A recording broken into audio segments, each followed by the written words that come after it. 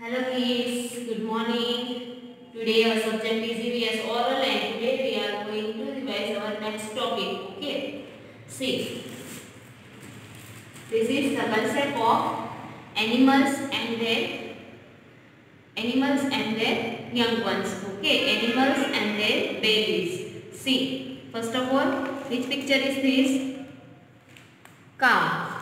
Cow baby, calf. Cow baby, calf. Which picture is this? Lion. Lion, lion baby, cub. Lion baby, cub. Then next, which picture is this? Dog. Dog baby, puppy. Dog baby, puppy. Then next, cat. Cat baby, kitten. Cat baby, kitten. Okay, next. Which picture is this? Goat. Goat baby, kid. Goat baby, kid. Then next, horse. Horse baby, foal. Horse baby, foal. Okay, see. Here.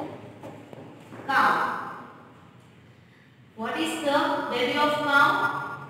Calf. This picture, oh, sorry, which spelling is this? C-O-W, cow. So, baby of cow is C-A-L-F, calf. Cow baby, calf. Cow baby, calf. So, you have to, uh, my question is, what is called cow baby? So, your answer is cow baby, calf. Okay. What is called dog baby? Dog baby, puppy. Dog baby, puppy. Then, goat baby, goat baby, kid. Goat baby, kid. Goat baby, baby, cub. Lion baby, cub. Lion baby, cub. Cat. Cat baby, kitten. Cat baby, kitten.